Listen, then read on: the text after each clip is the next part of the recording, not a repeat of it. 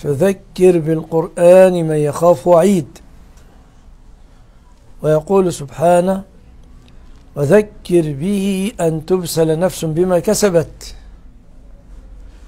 فهذه تذكرة من كتاب الله وتحذير حذرنا الله به في كتابه حذرنا الله من عواقبه.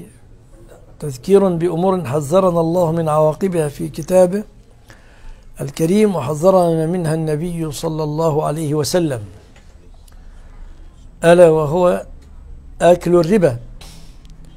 فالناظر إلى أحوال الناس الآن في كثير من بلاد المسلمين يجد دمارا كبيرا ويجد تدهورا في الاقتصاد ويجد إصابات بالفقر والعياذ بالله وانخفاض لقيمة عملة البلاد فضلا عن جوع أقوام وفصل أقوامهم من العمل وتعطل الأعمال.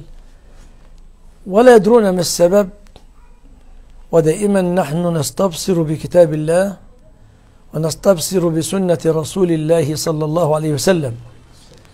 فكان من الجدير بنا أن نذكر بما في كتاب ربنا مما يوضح لنا أسباب ما نحن فيه من هذا التدهور في الاقتصاد ومن هذا الفقر الذي أصيب به أقوام